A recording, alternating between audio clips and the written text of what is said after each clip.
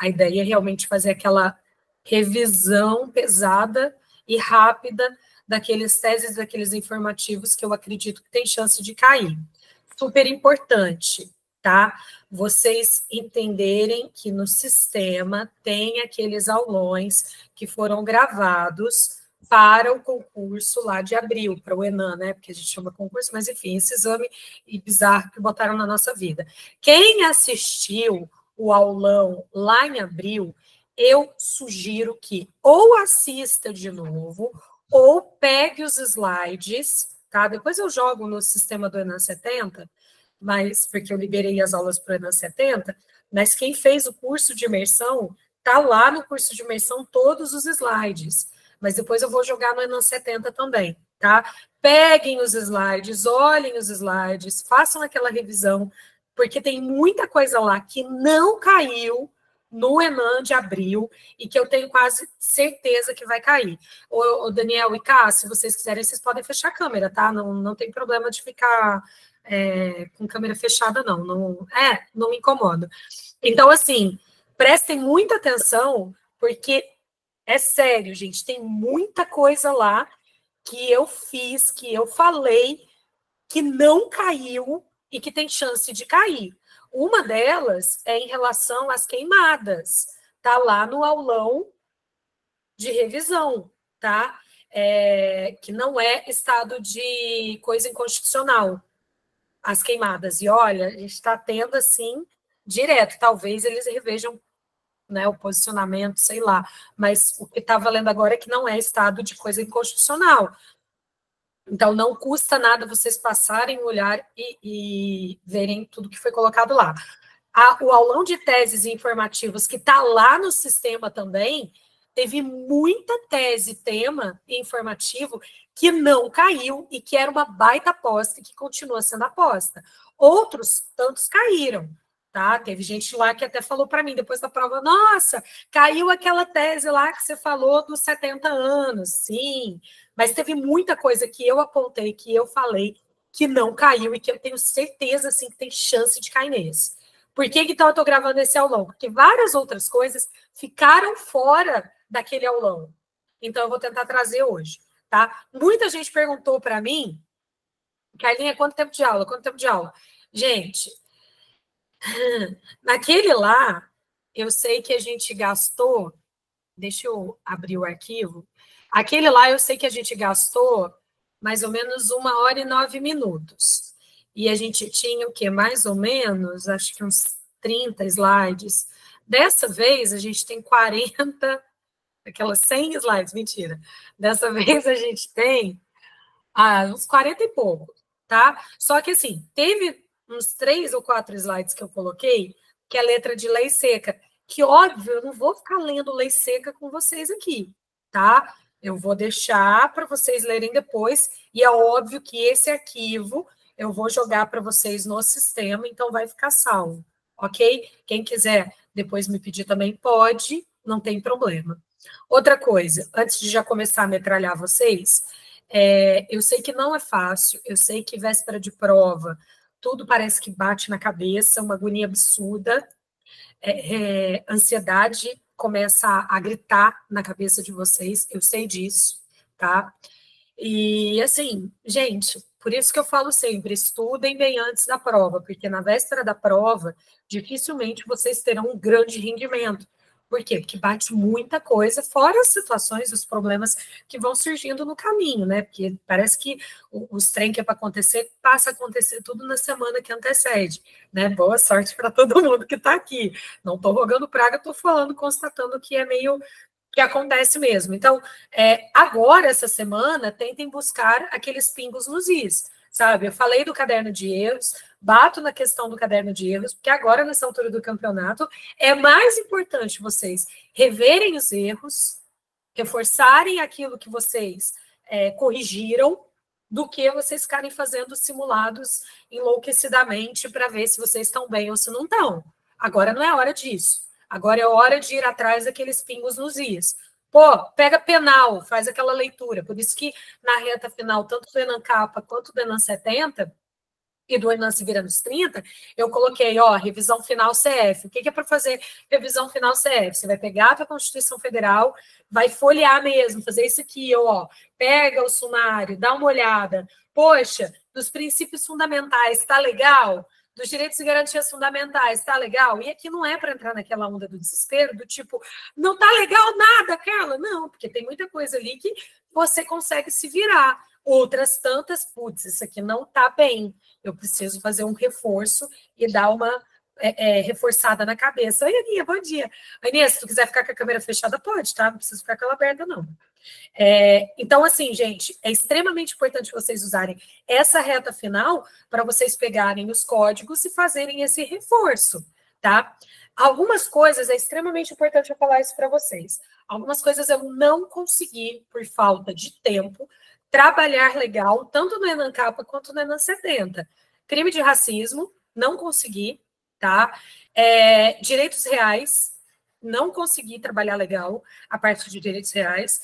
Coloquei questões para vocês fazerem, mas eu não consegui colocar lei seca para vocês reforçarem. Então, são dois pontos que eu acho importantes. Se você tiver tempo, pegar um pouquinho mais. No ENANCAP, eu consegui trabalhar um pouco mais os diplomas internacionais. No Enan 70 e no Enan Virando dos 30, eu não consegui. Então, também é aquela coisinha, ah, é, dá para dar uma primorada em algumas coisas, se porventura o grosso já tiver legal. Entendam, o grosso, constitucional, civil, processo civil e penal. A grande maioria está desesperada com o empresarial. O que, que eu falei sobre empresarial? Galera, empresarial vocês vão tentar segurar com o que tem no Código Civil. Dá para pegar a lei das SA? Só para quem estuda para magistratura estadual, que vale a pena reforçar um pouco mais, mas isso se você já estiver estudando legal. Se não, deixa quieto, tá? A parte quando entra ali na, nas sociedades, não dá para entrar muito agora, fica só com o que está no Código Civil, com a leitura de lei seca e segue o jogo. Ah, lei de patente, ah, lei de títulos de crédito, é, lei de falência. Gente, são assim matérias extremamente pesadas, então você vai tentar segurar naquilo que é o principal. É, direito antidiscriminatório, não peguei muito também, foi uma coisa que não deu tempo, mas eu acredito que seja uma prova muito intuitiva para falar sobre etarismo, para falar sobre PCD, é, para falar sobre questões de gênero, a, a, o, a resolução CNJ sobre a, o julgamento sobre perspectiva de gênero, né? Isso tudo aí, se vocês conseguirem passar também, fazer aquela leitura básica, pode. Só que entendam, o grosso é mais importante agora, tá? E principalmente dentro do grosso, constitucional. Por quê? Constitucional são 16 questões. Combinado? Bom, se alguém tiver alguma dúvida, conforme eu fui explicando, conforme eu fui falando, vai deixando aqui no chat, porque eu estou com o chat aberto e eu vou ficar de olho, tá? É, bom, Desejo a vocês um ótimo, feliz Dia das Crianças. Espero que hoje seja um dia muito bacana para quem tem filho. Para quem não tem filho, acho legal, vocês voltarem no tempo e lembrarem da época que vocês eram crianças, o, o tanto de coisa que vocês acreditavam que vocês eram é, capazes de conquistar, todos os sonhos de vocês, e tragam isso para a realidade de hoje, né? Porque a única coisa que muda mesmo é a carga de experiência que vocês foram adquirindo. Mas eu espero que todos vocês tenham pelo menos aquele exemplo da infância, sabe? Aquela coisa linda mesmo de acreditar muito na gente mesmo. Isso daí é uma coisa que a vida adulta às vezes tira da gente, que eu acho que é um brilho da infância que é incrível, né? A gente se olha no espelho e a gente tem orgulho da criança que a gente é e a gente tem uma imaginação do futuro que é uma coisa maravilhosa, monstruosa. Eu gosto de falar assim, poxa, se você pudesse encontrar com a sua miniatura lá atrás, sabe? A tua criança, como que ela veria você hoje, né? É, ela teria orgulho do que você é? Se você falar assim, ah, eu acho que não teria, não, para, talvez você esteja sendo crítico demais com você mesmo. Ou, né, realmente não está muito legal, aí é hora de você mudar a tua vida, virar a chave para conquistar aí a tua melhor versão. Beleza? Então vamos que vamos, eu vou compartilhar com vocês. Eu tô acelerada, tô, eu sei que eu tô. Se eu estiver muito acelerada, vocês me cutuquem aqui e falar, Carlinha, explica mais com calma, tá? Mas é, eu, pelo menos, quando eu assisto aula ao vivo, eu fico um pouco agoniado, porque dá vontade de acelerar a aula.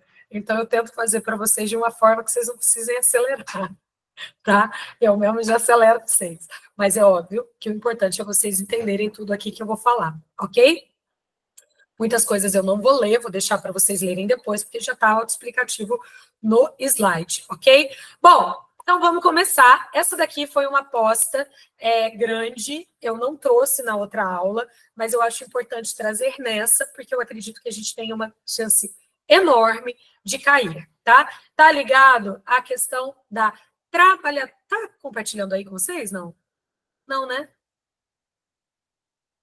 Sim, está. Está tá? compartilhado. Ai, ótimo, tá. ótimo. Tá. É porque eu coloquei meu slide na frente, eu fiquei com a impressão de que eu não estava compartilhando, mas está compartilhando, maravilha. Então vamos lá. A mãe servidora ou trabalhadora não gestante em união homoafetiva, ela tem direito à licença maternidade.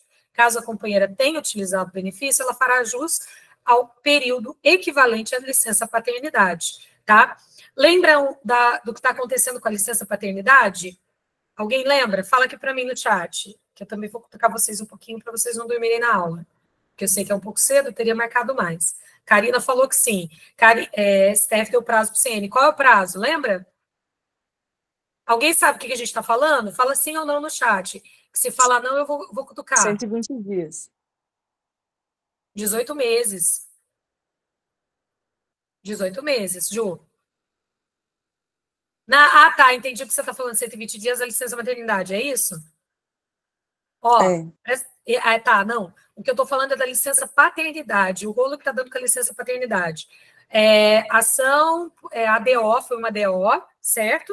Porque a licença paternidade, dentro da Constituição Federal, não foi regulamentada e entraram com a promissão, né, ação direta por omissão, e o STF deu 18 meses para o legislativo é, fazer, né, é, é, regulamentar essa, regulamentar não, soltar uma lei, né, legislar em cima da licença paternidade. Eu não lembro quando acaba esses 18 meses, mas com certeza vai sobrar para o STF, acho difícil, o legislativo se mexer. Quais foram os princípios dessa decisão? Agora volta para cá. Tem chance de cair essa daqui também do, da licença paternidade, tá, gente?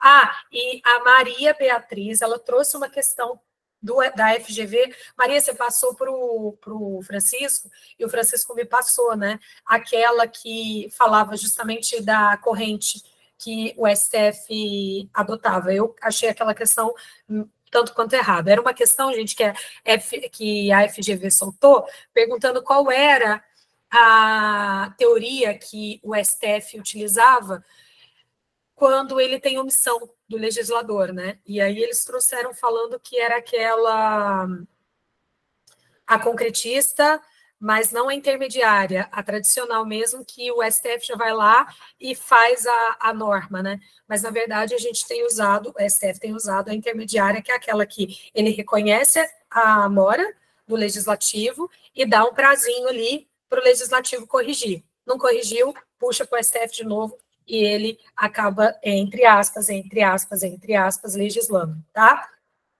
Bom, Princípios dessa aqui, vamos voltar para o informativo 1128, da mãe servidora não gestante e união efetiva. Quais são os princípios? Dignidade da pessoa humana, proporcionalidade e razoabilidade, proteção integral da criança e do adolescente. É uma interpretação, gravem isso, não reducionista do conceito de família, incorporando uma concepção plural baseada em vínculos afetivos, tá? Então, entra justamente naquela ideia que o STF a, a, abriu mais né, o conceito de família pela Constituição. As empresas públicas e sociedades de economia mista, sejam prestadoras, isso é muito importante, de serviço público ou exploradoras de atividade econômica, ainda que em regime concorrencial, elas têm o dever de motivar em ato formal a demissão dos desempregados. É, quem fez aquelas provas lindas e maravilhosas do site do CAPA, que é aquela provinha que vocês fazem para a gente avaliar como é que vocês estão nas matérias. Eu lembro que tem uma questão, mas eu acho que é só da galera trabalhista que eu coloquei isso. Se é, quem trabalha em autarquia tem a estabilidade lá concedida na Constituição para os servidores públicos, né? E quando a gente falava de autarquia, isso já lá atrás não tem a estabilidade, mas tinha que motivar. Agora eles trouxeram essa decisão para empresas públicas e sociedades de economia mista. Prestem atenção, não exige é, processo administrativo, não existe hipótese de justa causa, exige o quê? Motivação, tá? Jennifer, sim, eu vou liberar esses slides para vocês, não se preocupe, tá? Existe sim a necessidade de motivação. É, houve um tempo em que eu fiz estágio no banco Nossa Caixa, nosso banco, que se tornou o Banco do Brasil aqui em São Paulo. Quem é de São Paulo sabe que banco é esse que eu estou falando. Fiquei um ano como estagiária lá. E eu lembro que entraram com. A, a, é, foi uma. Porque entra como concurso, né? Entra é, com concurso nesse, nesse banco, entrava com, fazendo concurso. É, e eu lembro que a moça, ela tinha entrado como bancária e dispensaram, porque ela não tinha o perfil de bancária que era para atender público, a moça era muito tímida, e aí eles tentaram colocá-la em outro setor e não deu, enfim, dispensaram.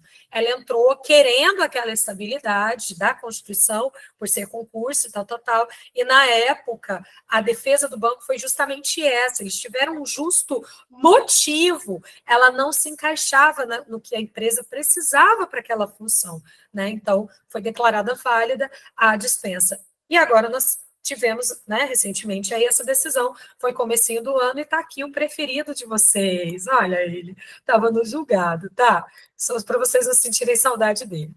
Bom, seguindo. Não, ai, gente, isso aqui tem uma chance de cair grande, grande, grande, grande. É, muita gente me perguntou, cara, cai processo penal? Prestem atenção, processo penal, trabalho, é, podem cair, mas assim, dentro da, da, da visão de constitucional, tá? E aí, lógico, a gente abre bem o leque, mas, poxa, eu tenho que pegar o CPP? Eu tenho que pegar o Código Tributário? Não.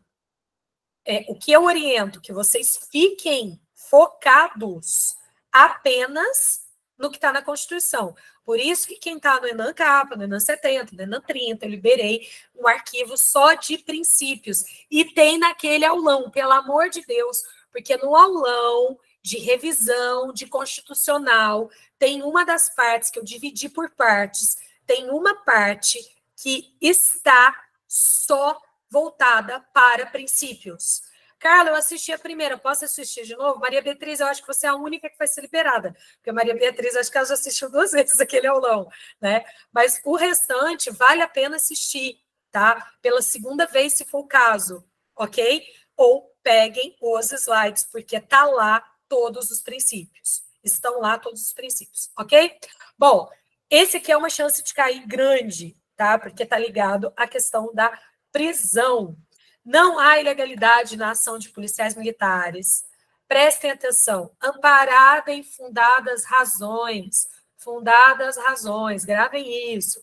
Sobre a existência do flagrante do crime de tráfico de drogas na modalidade ter em depósito. Quando eles ingressam sem mandado judicial no domicílio daquele que corre em atitude suspeita para o interior da sua casa. Trata-se de um delito de natureza permanente. Não vou falar com vocês sobre a classificação de crimes. Foi uma coisa que eu senti falta, que seria muito legal se eu conseguisse fazer um aulão, mas eu estou com as minhas forças exauridas. Semana que vem vou ter muita aula com alunos do avançado, então não vou conseguir também puxar depois e fazer ali uma listinha né, da classificação. É válido, tá?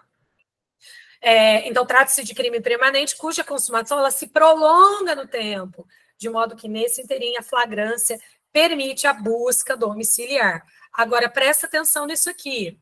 Tema 280, provas obtidas mediante invasão de domicílio por policiais sem mandado de busca. A entrada forçada no domicílio sem o mandado, ela só vai ser lista no período noturno quando parada em fundações fundadas razões devidamente justificadas, que indique que dentro da casa havia o quê? Situação em flagrante delito, sob pena da responsabilidade disciplinar civil da autoridade. Olha aqui, presta atenção, tá?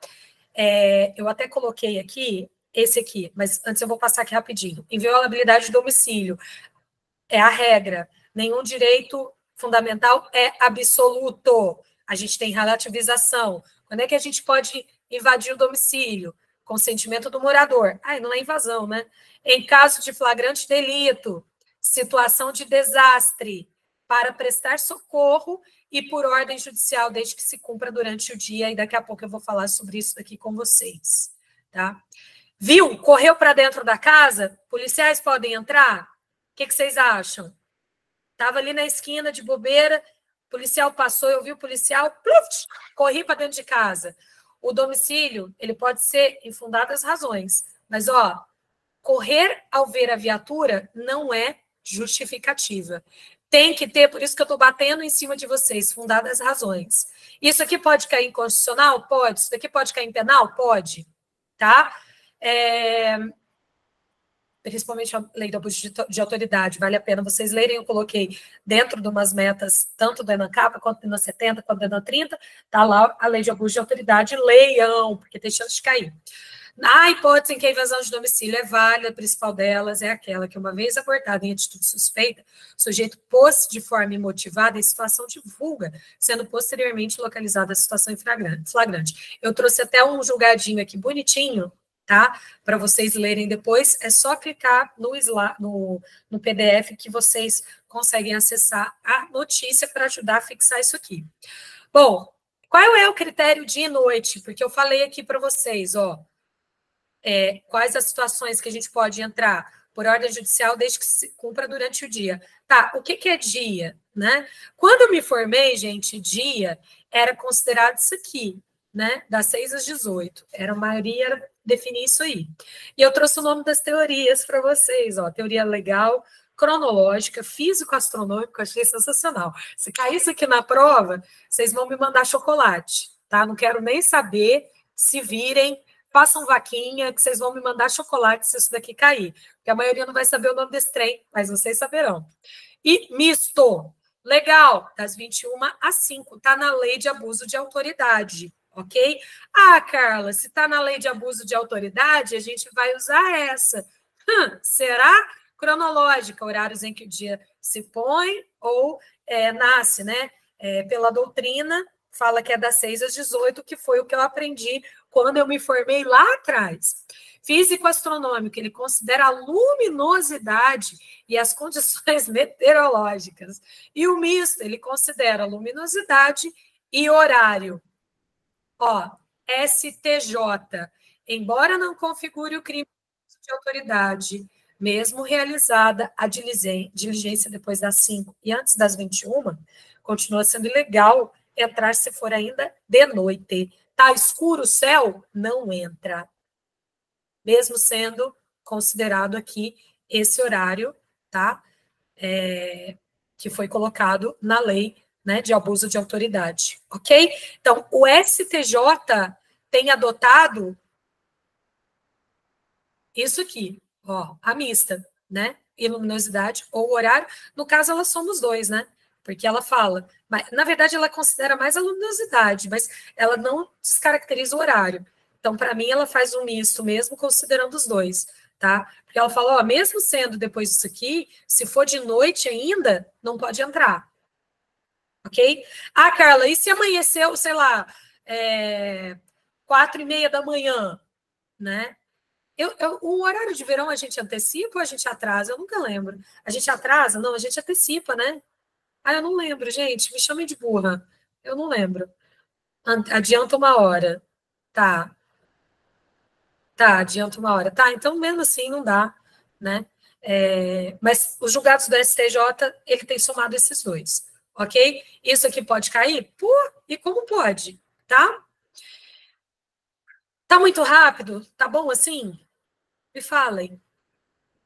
Porque sem vocês eu não vejo se vocês estão em desespero ou não. Beleza. Então vamos lá.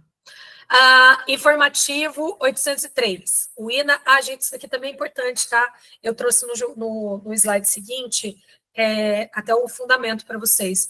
O inadimplemento da pena de multa, mesmo após o cumprimento da pena de prisão ou da pena administrativa, não impede a extinção da punibilidade. Por quê? Porque a pena de multa é pena, né? Desde que, aí vem a ressalva, o condenado alegue hipossuficiência. salvo se o juiz, em decisão devidamente fundamentada, entenda de forma diferente, indicando especificamente capacidade para o pagamento. Bom, aqui, questão social, tem tudo envolvido, tá? Eu já vou trazer aqui, ó. É, deixa eu ver se eu trouxe no seguinte. Não, eu não trouxe. Eu trouxe o vídeo que fala dessa desse no julgamento repetitivo, tá? É, vale a pena assistir porque é curtinho, acho que tem três minutos, ok? E ele fala bem. O que eu queria falar é o seguinte: olha, quando a gente fala da pena de multa, é uma pena, certo? Beleza. Não vai extinguir a punibilidade se cumpriu a pena e não pagou a pena de multa, não pagou a multa. A regra é que não vai extinguir a punibilidade. Mas se o condenado alegar, ó, oh, eu não tenho dinheiro para pagar, o juiz ele pode considerar extinta a punibilidade. Se ele não considerar extinta a punibilidade, ele vai ter que fundamentar bem. Por que, que a gente vai é, abrir digamos assim, né, e considerar essa extinção da decretar a extinção da punibilidade, declarar a extinção da punibilidade, não havendo pagamento. Alguém consegue imaginar o porquê? Só porque ele alegou hipossuficiência? Qual o fundamento? O que, que vocês acham? O fundamento que está por trás disso? Princípio constitucional, sei lá. Vai, gente. Respondam, por favor. Please. Vamos lá. É, uma pessoa condenada, ela consegue arrumar um emprego fácil, sim ou não?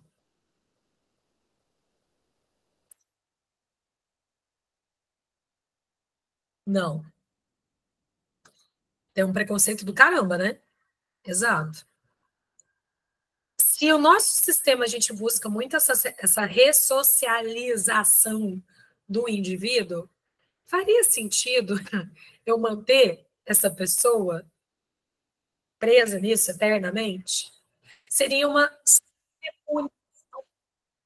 eu até coloquei aqui, ó, os condenados notoriamente incapacitados. Ele não ia conseguir, já, já vai ser difícil, ia ser mais difícil. Ia tornar a situação mais difícil ainda, né? Então, alegou hipossuficiência, a regra é extingue a punibilidade. Então, quando eu falo alegou, é, até dava para pensar nisso, né? Não, não dá para falar de caráter perpétuo, Ju, é, é, Jennifer, porque você tem a prescrição, né? Olha só, é que vira, é, você te, acaba tendo isso, então você acaba conseguindo de outra coisa. Aí vem o tema, ó, tema 931. A presunção de veracidade, ela é relativa, tá? de que o cara realmente, de que o condenado realmente é hipossuficiente. Cabe ao Ministério Público provar que ele não é hipossuficiente, ok? E aí, gente, olha só, MP foi lá e comprovou que ele não é hipossuficiente, aí entra nessa parte aqui, ó. Decisão fundamentada entenda de forma diferente, indicando especificamente a capacidade do pagamento. Então, o papel do MP aqui vai ser fundamental. É, por que, que a gente tem essa, essa decisão dentro desse. Aprofundar ainda mais as desigualdades socioeconômicas dos egressos do sistema prisional, composto majoritariamente por jovens negros. Isso aqui é uma coisa muito importante ligada à questão racial, tá? Isso aqui é bem interessante, porque se você falar isso, né, que, que vai manter a pena, até para quem é hipossuficiente, você vai aumentar ainda mais essa desigualdade entre os egressos, né? Entra em tudo aquilo que eu falei. Aí vai contra o princípio da dignidade da pessoa, por aí vai. Informativo 803, vocês estavam com saudade de processo civil, então vamos para processo civil. Gente, presta atenção. No primeiro, e até na reaplicação do ENANCH, não caiu essa parte do sistema de precedentes. E eu acredito que continua sendo uma forte aposta tá? Falei isso no aulão. Eu fiz até um arquivo sensacional nesse aulão. É, Ah, gente, eu vou até trazer esse arquivo, porque eu acho bacana. Peraí. Eu tenho aqui, eu vou mostrar para vocês rapidinho. Cadê, cadê, cadê? Aulão de processo civil. Tá aqui. Ó, esse é o de processo civil. Tá compartilhando aí para vocês, né? Deixa eu ver onde vocês estão, peraí. Tá compartilhando para vocês? Tá. Ó. Sim, isso tudo é do aulão. Mas não se assustem, porque eu coloquei em, em doses bem suaves. Tem aulão de 20 minutos, 15 minutos, 30 minutos. Aqui, ó. Ó que lindo, gente. Olha isso aqui. Demais, né? Então, ó, aqui está toda a diferença entre IRDR, IAC, recurso extraordinário especial, é, repetitivo. O RRR entrou de gato no navio, mas eu deixei já para quem é da trabalhista, porque aí já fica, pra vocês ficarem fazendo comparação depois, fica mais fácil, tá? Tá tudo aqui, não é lindinho? Ó, depois vocês fazem a revisão. Não vou fazer a revisão agora, senão a gente vai ficar aqui bastante tempo. Isso está no aulão, vale a pena vocês pegarem, tá? Então, ó, o CPC estabeleceu como regra a sistemática de causa piloto para o julgamento de incidente repetitivo, é, incidente de demanda repetitiva. Ai, gente, o que é o R mesmo? Fugiu. Incidente, resolução. Incidente de resolução de demanda repetitiva. A adoção do sistema de causa modelo não é livre escolha do tribunal. O que, que é isso, Carla? Causa modelo e causa piloto. O que, que é isso? Eu vou. Aqui, eu trouxe aqui no, no seguinte para vocês, tá? Sistema de causa piloto. E RDA demanda. Demanda. O que, que eu estou falando? Que você tem que ter uma causa concreta, tá? Eu não posso inventar uma causa modelo. Eu não posso inventar uma historinha. Alguém consegue visualizar uma situação na qual nós estejamos diante de um RDR e os caras lá simplesmente inventem uma causa modelo? Alguém consegue visualizar? Não tem muito tempo eu queria ter pegado esse vídeo, mas é tanto vídeo e eu não consegui pegar. Foi um, drama lá de um, de um desembarga que estava fulo da vida, porque ele estava reclamando é, de uns processos lá, né, das causas piloto, e acho que a principal que eles pegaram, a pessoa desistiu do recurso. Alguém viu esse vídeo? Eu fui a única pessoa que viu esse vídeo, porque eu não vi que não teve nem repercussão. Alguém viu? Pelo amor de Deus, ninguém viu? Fala aqui para mim, sim ou não. E aí, esse cara, ele estava lá, o desembargador estava fulo da vida, porque eu acho que tinha feito bem o voto ali em cima daquelas situações ali, daquele processo específico e tal, e a parte é, desistiu, então a causa morreu. Né? E eu lembro até hoje dos comentários dos advogados, nossa, não sei o quê, agora não pode desistir e tal. É uma situação, né? Digamos que os processos ali que eles escolheram, né, de, de causa é, de causa piloto, né, que eles trouxeram, eles simplesmente a, não, não foi possível julgar por algum problema ali, né? É, aí decidiram fazer uma, uma causa é, modelo, né? Aqui, ó, uma causa modelo é, não é bem assim, tá? O julgamento abstrato, houve a fixação de tese abstrata sem o julgamento concomitante ao caso concreto. Então, esse informativo, ele se refere justamente a essa causa abstrata que eles inventaram para soltar uma tese, e não pode, tá? Por quê? Porque o CPC estabeleceu como regra sistemática de causa piloto. Se porventura cair isso daí de causa piloto, é, causa modelo, vocês já vão saber o que é, ok? Vocês entenderam? Sim ou não? Vocês são tão quietinhos, gente. Pelo menos fala sim, sim, sim, tá bom. É porque eu não vejo vocês. Eu fico com o slide aberto, eu só fico vendo o slide e o. E o. Qual que é o nome desse trem aqui? O chat, né? Então vamos lá, informativo 803. Quebra de cadeia de custódia. Presta atenção, porque FGV costuma cobrar isso aqui, ó, cadê? Cadê, cadê, cadê? Ah, ah, eu trouxe no outro ponto, que foi dos informativos, esquece. Cadê? Das 24 horas, sabe? Que você tem que apresentar é, 24 horas. Eu acho que está mais para frente. Ó, quebra de cadeia de custódia é outra coisa. Em razão da falta de numeração individualizada do material que foi objeto da perícia definitiva, que resulte em possibilidade de se distinguir com segurança se há reconhecida inconsistência da parte perícia relativa à natureza entorpecente do material. Por que isso, gente? Porque teve uma quebra dessa custódia de, de em razão dessa quebra da custódia de cadeia, você teve uma impossibilidade de se distinguir com segurança se aquilo ali é da pessoa mesmo, se não é, se se referia àquele objeto mesmo ou não, né? Então, isso daqui é super importante. Eu não sei como é hoje na prática, mas na época que eu trabalhava na vara criminal, eu fiquei um tempo na na, no cartório, fiquei um tempo na parte que cuidava de inquérito, parte de inquérito, eu fiquei pouquíssimo tempo, mas foi bem legal, que eles faziam o próprio depósito, às vezes tinha um armário lá que tinha até arma, chegavam, né, para fazer os inquéritos e tal, chegavam, tinha um monte de coisa lá, né, e depois eu fiquei fazendo sentença criminal. Mas essa parte aqui é, é bem interessante, porque realmente nessa cadeia de custódia tem que ser tudo muito bem feito, tem que ser tudo muito bem identificado, porque é lógico, né, gente, devido ao processo legal, olha os princípios, né?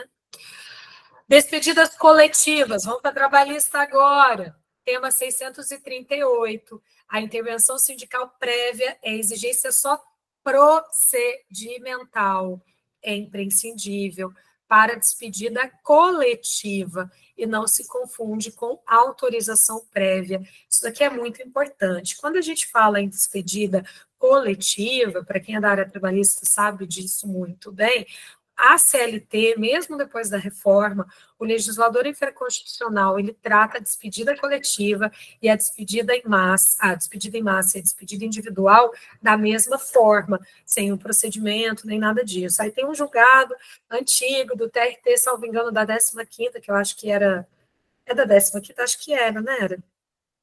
Que veio o processo. Bom, enfim, era envolvendo a uma empresa aérea, que eu esqueci o nome da empresa aérea também.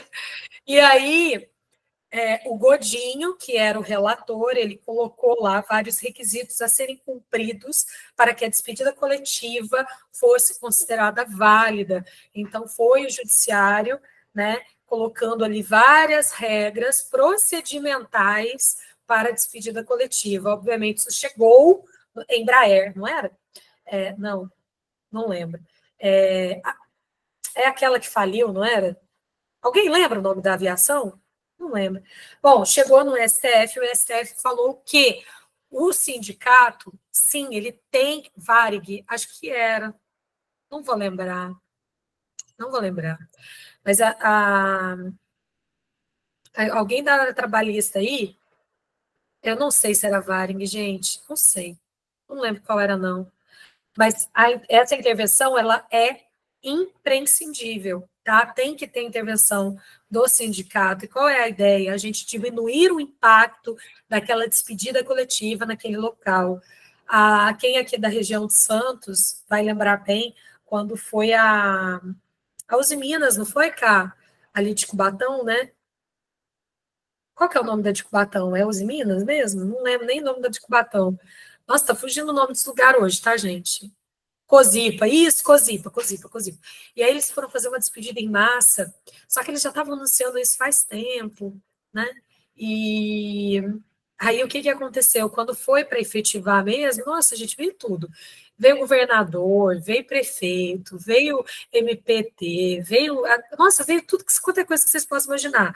É, tentando impedir mesmo a, a despedida coletiva, porque é, é, boa parte de Cubatão, né? A economia girava muito em torno disso, né? E realmente foi um período bem difícil. Não adiantou, porque ela, a gente não está falando em autorização do sindicato. A ideia do sindicato é ele tentar, lógico, observar os direitos dos trabalhadores ali, né? Mas principalmente tentar dar uma diminuição naquele impacto que para não ser tão negativo. É, eu tenho uma prima que trabalhava naquele, no Bradesco, não, Bradesco não, Santander, no Santander, na parte de marketing, e eles fizeram cortes, assim, absurdos, só que com a participação do sindicato, o que, que eles fizeram? Eles deram oportunidade para os funcionários que estavam sendo cortados escolherem entre três profissões lá, né, três cursos de capacitação, e o banco bancaria, pagaria esses cursos. Olha que interessante, né? E essa minha prima, ela acabou escolhendo fazer é, comissária de bordo, né? Esse curso, o banco pagou uma parte e ela pagou o restante. E hoje ela está lá, felizona, como comissária de bordo. Então, são coisas, assim, super importantes se a gente parar para pensar no, no que a Constituição mesmo defende, busca, né? Enfim. Tema 841 é constitucional a exigência de comum acordo entre as partes para o juizamento de dissídio coletivo de natureza econômica. Isso daqui é antigo para a área trabalhista, mas não é antigo para a galera da área estadual. Então, entendam que nós temos dissídio coletivo de natureza econômica, eu não vou nem falar do, do outro, tá? Porque, como vocês não estudam para essa matéria, vocês não precisam saber. Gravem apenas que é a natureza econômica você tem que ter este comum acordo. Ah, então se um lado falar que não quer, não tem dissídio, também não é assim, né? A questão da omissão ou da recusa vale como comum acordo, ok? Seguindo. 897. Prescritibilidade da pretensão de ressarcimento do erário em face de, agen em face de agentes públicos por ato de improbidade administrativa. A lei de improbidade administrativa vai cair, certeza absoluta, só que, pelo amor de Deus, todo mundo aqui pegou o arquivo da Lia, que eu coloquei no sistema, que já está sublinhado e mastigado. Todo mundo pegou esse negócio? Gente, olha, quem não pegou e cair na prova ali e errar, eu, eu, eu não vou ser muito professora boazinha, não. Eu vou falar assim, cara, pediu, porque assim, isso daqui deu trabalho, tá? Eu vou mostrar para quem não baixou, baixa. E quem não achar, me peça. Tá sublinhado. Tá marcado aqui, ó. Tá? Tema 1199, que tá nesse slide também. E que tá no aulão que eu comentei. Tá tudo aqui, gente. Ó, colorido do jeito que vocês gostam. Tá aqui, rol exemplificativo, exemplificativo, rol taxativo. Lembra o nono, enriquecimento. Décimo, causa de prejuízo ao erário. 11, atentados contra o princípio da administração pública, aproveita, faz uma revisão disso aqui para você fixar. O rol é taxativo. Aqui, gente, eu ainda falo, olha que bonitinha, vamos ficar rico do enriquecimento ilícito.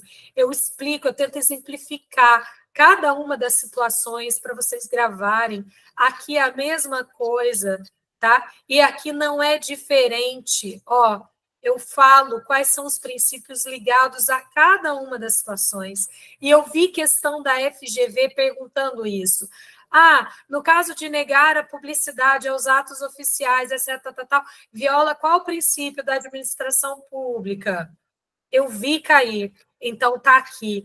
Outra coisa, que é relação, com relação às penas, eu fiz quadrinhos separados e eu fiz um quadro geralzão. Olha aqui, ó, ó, vocês viram? Gravem isso, tá? Por favor. No aulão do CAP, eu também fiz isso. Eu trouxe esse arquivo, eu fiz a tabela. É que lá eu acho que eu construí a tabela mesmo. Ah, isso daqui eu copiei da internet. Me julguem. Fiquei com preguiça de fazer a tabela. E é isso, tá? Aqui. Uma parte que eu acho importante da lei de improbidade, que pode ser que caia, a parte da declaração de bens, sim, dá até para você fazer com link com a lei 8.112, tá? Mas é, eu falo algumas partes importantes disso aqui, ó. Eu trouxe para vocês aqui, ó. Tá aqui, ó. Prescrição.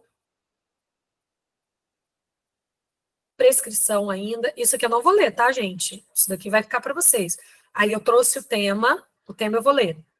É, trouxe este outro tema, não, esse aqui é outro. Trouxe o tema e sublinhado para vocês falando que retroage, que não retroage, tá? Mas isso aqui, gente, ó, dos acordos, eu vi cair num dos simulados da FGV, tá lá. É só você ficar atento. Combinado? Suspende o curso prescricional, o prazo. Então, fiquem atentos. Importante, são imprescritíveis as ações de ressarcimento ao erário fundados na prática de ato doloso, tipificado na lei de improbidade. Tá? A ação para aplicação de sanção prevista prescreve em oito anos contados a partir da ocorrência do fato. É, o que, que eu estou falando? Sanção. Aqui eu estou falando ressarcimento, ok? Prestem atenção na diferença. Não vou ler esses artigos, porque não, ninguém merece eu ficar lendo artigo aqui, tá? Prazos aqui que se interrompem, ajuizamento, publicação da sentença condenatória, publicação da decisão e do acórdão, tá? Não vou ficar lendo também, depois vocês leem aí, já deixei as partes principais sublinhadas. Nas ações e nos acordos regidos por essa lei, não haverá adiantamento de custas de preparo, emolumentos, honorários, periciais, qualquer despesa. E vai ter condenação de honorários sucumbenciais em caso de improcedência da ação de improbidade, se comprovada a má fé pausa, lembra quais são as situações em que a gente tem honorários sendo impostos pela comprovação de, compro, pela comprovação de má fé? Puxa aí, é assim que vocês fazem revisão, tá? Alguém fala uma ação que a gente tem condenação, que ela acaba valendo? ACP, perfeito, cara, matou pau, é isso, tá? Tem mais, viu, gente? Mas eu, eu ação popular, eu me satisfaço com isso aí, tá ótimo. Tema 1199 é necessária a comprovação de responsabilidade subjetiva, é, é, dolo, né? A comprovação de responsabilidade subjetiva para tipificação dos atos de improbidade administrativa, exigindo-se no artigo 9, 10 e 11 a presença do elemento subjetivo dolo. Então, a gente está falando da comprovação de responsabilidade subjetiva. Cuidado, porque eles vão fazer confusão, eles vão botar responsabilidade objetiva, eles podem fazer brincadeira com alguma coisa de risco, eles podem enfiar qualquer coisa assim. E preste atenção no elemento dolo, que é batata, que todo mundo já está cansado de ouvir, né? Tem que ter o dolo. A norma benéfica, por falar em dolo, lei é, de abuso de autoridade. Qual é o dolo que se exige, se exige lá na lei de abuso de autoridade? Alguém sabe o nome do dolo? Está no artigo 1 parágrafo 1 da lei de abuso de autoridade. Prestem atenção, porque quando cobram na FGV a lei de abuso de autoridade, eles não vão trazer para você o artigo 1 parágrafo 1 da lei. Eles vão querer que você já saiba disso. Tá? Alguém consegue dolo específico, perfeito, perfeito, dolo específico. Isso. Quem pega aí o artigo 1 parágrafo 1 da lei de abuso de autoridade, copia aí e cola aqui para mim no chat.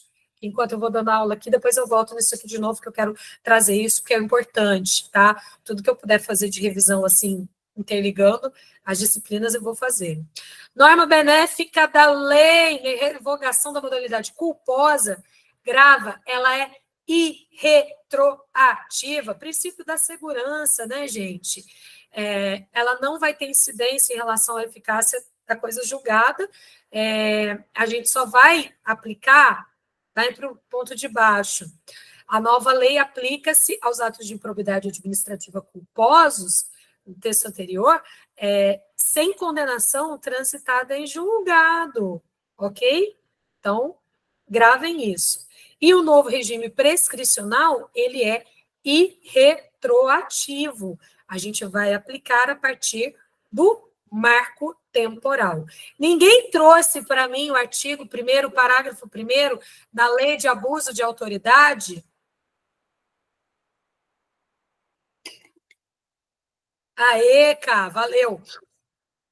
Parágrafo 1 As condutas descritas nessa lei constituem crime de abuso de autoridade quando praticadas pelo agente. Vamos lá, o dólar específico. Finalidade específica de prejudicar outrem, ou beneficiar a si mesmo, ou a terceiro, ou ainda por mero capricho ou satisfação pessoal. Entenderam? Dolo específico. Posso ter abuso de autoridade por culpa? Sim ou não? Muito bem. Prestem atenção que isso pode cair na FGV, a FGV gosta, e vai ser uma coisinha que muita gente às vezes pode esquecer. Por quê? Porque eu peguei questão da FGV que trouxe alguns artigos e colocou lá a cópia do artigo. E aí teve artigo mais completo porque falou deste dolo específico. Então, presta atenção, tá? Volta aqui para improbidade, então não retroage prescricional em relação aos atos culposos, só se transitou em, ju, em, em, em julgado, ok? Vocês entenderam bem essa parte da Lia? Beleza. Eu falei bem da Lia no aulão também de revisão, tá, gente? Eu, eu pretendo fazer um aulão da lei de improbidade super completo, lindo, maravilhoso, aprofundado, até para quem quer fazer Procuradoria Federal, AGU, tá? É, para quem quer magistratura federal, mas a Lia está sendo a queridinha dos últimos tempos. E eu vou ver se eu monto o, a lei no formato do sistema de memorização, tá? Vou ver se eu resgato isso aí, porque a lei é pequenininha, eu vou ver se eu consigo fazer isso, tá? Até acabar o ano, oremos. Tema 761. O transgênero tem direito fundamental, subjetivo, à alteração de seu prenome. Tem resolução do CNJ em cima disso. No primeiro ano, a gente pensou que eles fossem cobrar a resolução, não cobraram. Acredito que dessa vez não vai ser diferente. Não vão cobrar dificilmente, tá? É, então, ele tem direito fundamental subjetivo à alteração do seu prenome e de sua classificação de gênero no registro civil. E a gente não vai exigir nada além da manifestação de vontade do indivíduo, é, o qual ele possa exercer tal faculdade, tanto pela via judicial quanto diretamente na via administrativa.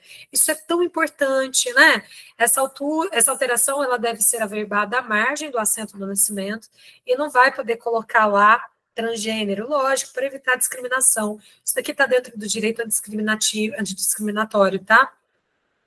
Na certidão, é, o registro não constará também nenhuma observação sobre a origem do ato, vai estar vedado a expedição da certidão de inteiro teor, salvo a requerimento do próprio interessado, ou, claro, por determinação judicial, ok?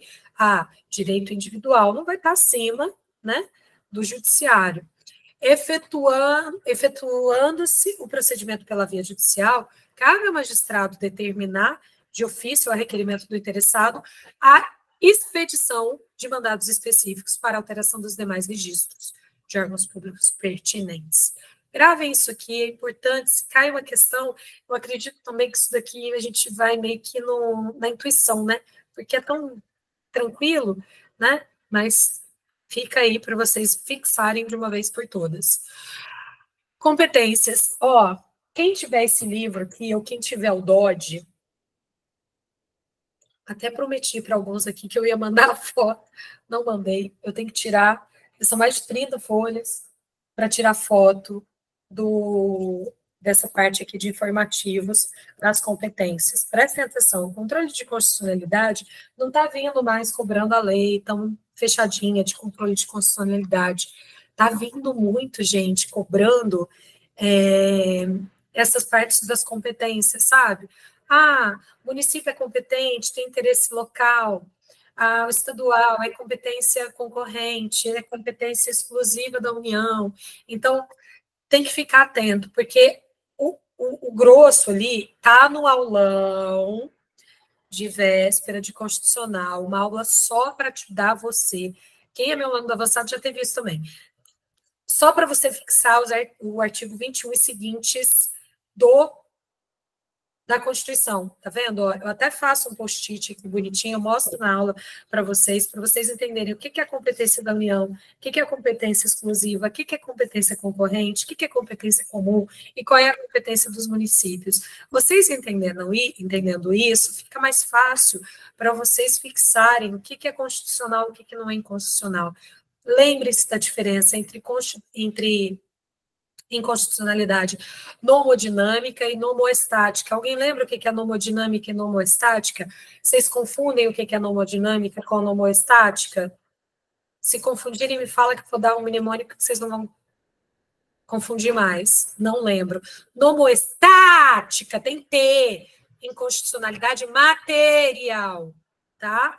Nomodinâmica é a formal. Inconstitucionalidade formal. Então, gravem isso. Vou até escrever aqui, ó. Nomodinâmica dinâmica, vai sem acento, tá? Ou se não, alguém escreve para mim, vai, é mais fácil. Que tic-tac hoje tá, tá devagar. Nomodinâmica, não tem T, então não é inconstitucionalidade material, é inconstitucionalidade formal. Nomodinâmica formal. Nomoestática material, ok? Isso, nomoestática tem o T de material ok? Vocês não vão esquecer mais. Então, quando eu falo da inconstitucionalidade material, eu estou falando de conteúdo, gente. Quando eu falo de constitucionalidade formal, eu estou falando de iniciativa, tá bom?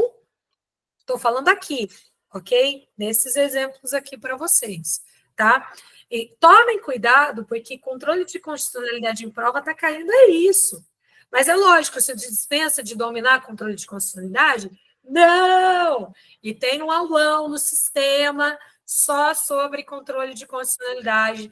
É um aulão completo, em cima, completamente feito em cima do Lenza. Tem três horas a aula, a aula abençoada, mas está completo, tá? A Karina está aí, falta revisão, né, dona K?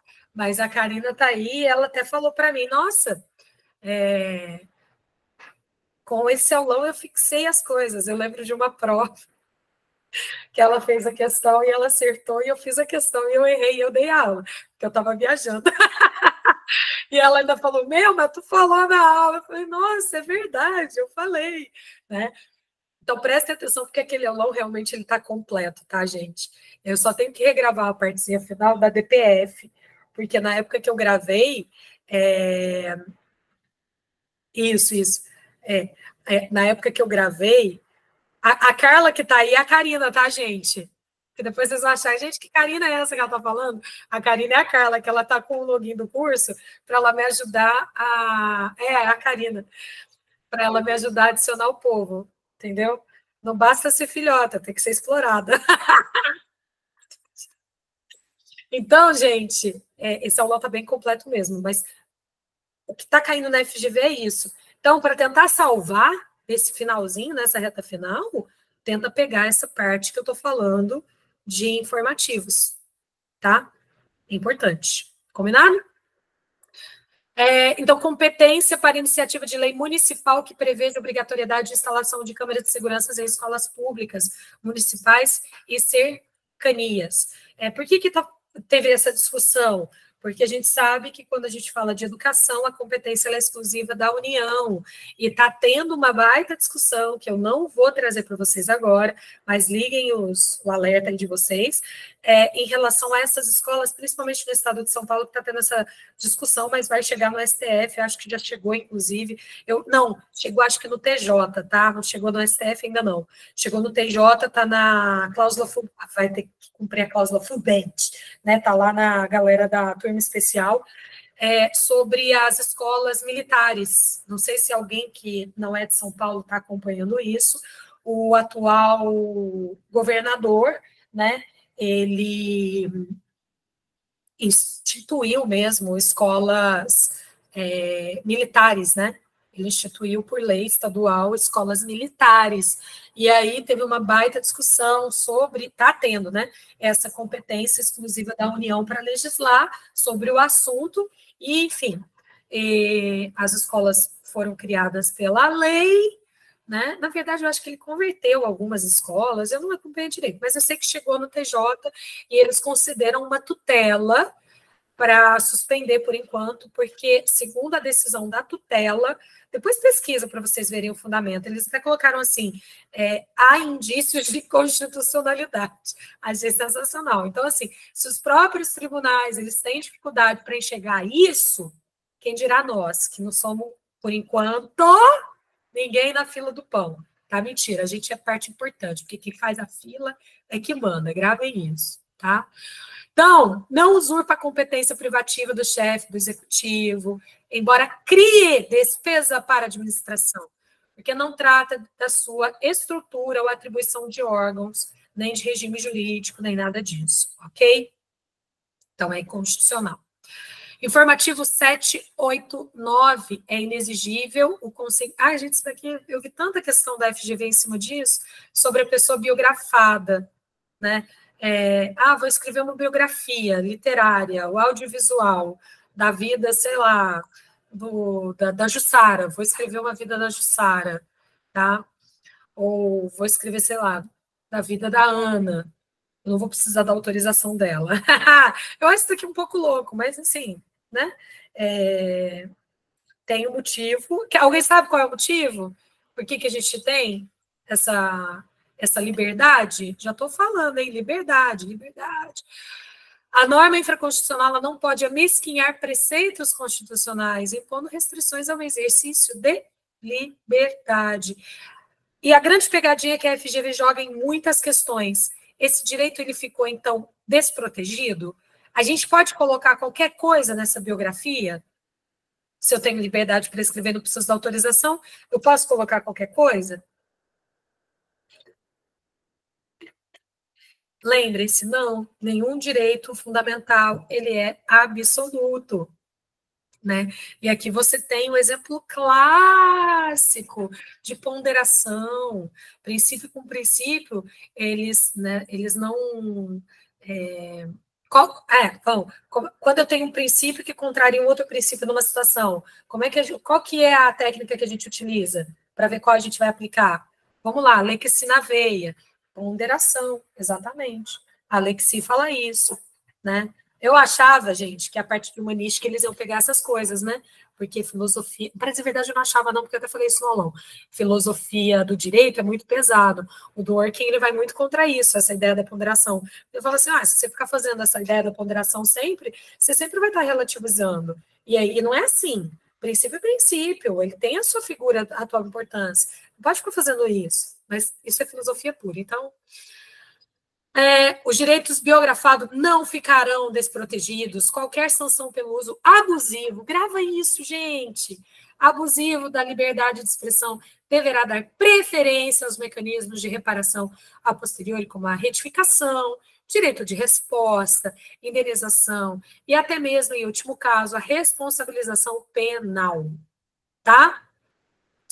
É, isso aqui, porque eu realmente vi questões da FGV colocando esse tipo de pegadinha. Ah, não precisa, é um direito absoluto, e papapá. Ah, já botou que é direito absoluto, você já fica com o pé atrás, porque não é assim que funciona, tá? Não é possível a completa supressão e substituição total do nome registral por pessoa auto-identificada como indígena. Isso aqui é importante, porque essa parte de indígena está muito é, latente no, no, nas provas, tá? Então, fiquem atentos. Eu trouxe aqui para a gente conversar sobre a decisão do Marco. Eu acho que eu falei no aulão de constitucional, não tenho certeza, mas eu não falei no, no aulão de temas e teses, tá? Mas eu vou falar aqui hoje. Não é possível a completa supressão e substituição total do nome registral por pessoa identificada como indígena por ausência da previsão legal, bem como, por exemplo, bem como por respeito ao princípio da segurança jurídica e das relações jurídicas a serem afetadas. Qual foi essa situação aqui? A pessoa ela tinha origem indígena e ela simplesmente queria fazer a substituição total do nome completo, tá? É, nome, sobrenome, tudo, tudo, prenome, tudo né? E aí, por questões de segurança jurídica, não foi autorizado pelo judiciário, ok? Eu acho que eu trouxe, gente, o marco aqui, ou eu falei nas outras aulas, não lembro. Bom, daqui a pouco a gente descobre. Tema 346. Ah, esse daqui é mais chatinho, tá? Nem tanto o primeiro, que é não viola o princípio da não cumulatividade, aí traz os artigos, a lei complementar que prorroga a compensação de créditos. Esse ponto aqui que é o mais importante, ó. Conforme o artigo 150, inciso 3 da CF, o princípio da anterioridade nonagemal, vocês lembram aqui quais são os dois princípios importantes que a gente fala de que trata da aplicação da lei no tempo em tributário. Um é o princípio da anterioridade nonagesimal, 90 dias antes. E qual é o outro princípio? Vai. Quem traz para mim? Escreve aqui. Anterioridade. Muito bem. Mas qual anterioridade? Anual. Isso mesmo. Isso mesmo. Então, quando a gente fala dessa anterioridade, tanto a nonagesimal, vou falar de 90, tá, gente? Anterioridade 90 e anual, é, a gente está falando em relação a normas que criem, que criarem né, é, tributos. Por que, que eu faço essa, eu tenho essa necessidade da aplicação desse princípio? Justamente para o contribuinte ter essa noção, saber o que está vindo por aí, se programar, princípio da segurança, né? Só que, quando a gente tem norma que prorroga a data de início de compensação de crédito tributário, eu não estou falando em criação, né? Eu só estou falando de norma que está prorrogando essa data de início. Então, não. Está é, é tá aqui, ó. O princípio da anterioridade nonagesimal ela vai aplicar somente para as leis que instituírem ou majorarem. Não vai ser aplicada para essas que prorrogarem a data do início da compensação. Tá? Porque ela não está criando e ela não está majorando. Entenderam? É isso. Então, se a FGV trouxer alguma historinha em que você não tiver a instituição ou a majoração, lembra disso, lembra desse tema. Combinado? Ah, ah, isso aqui é legal, eu acho legal. Eu, eu, gosto sempre quando eu pego alguma coisa de precatório, não na vida real. A Aninha sabe disso. Esses dias atrás eu tive que fazer um precatório chato para Dedéu. Sofri pra caramba no site do TJ de São Paulo. E aí eu gritei a Ana, que está aqui. Eu falei, Aninha, não tá indo essa merda. Ô, Aninha, nem te contei o que foi depois. Gente, sabe o que é? É que no, no sistema do TJ de São Paulo, quando você joga, agora você tem que jogar a alma, né? Você tem que jogar até o contrato de advogado, se você já quiser cobrar. Mas tudo bem, né? Justo, se já quiser descontar o plano horário é, convencional ali, você já pode jogar, né? Mas eu acho um pouco invasivo, então eu peço para jogar tudo na minha conta e depois eu me viro, né? porque colocar o meu, o meu contrato é, acho complicado. Enfim. E, e aí, quando você joga, você tem que especificar bem os valores, né?